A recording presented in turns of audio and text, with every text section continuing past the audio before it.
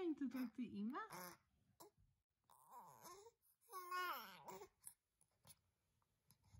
What do you want to say to Abba? Tell Abba that you love him.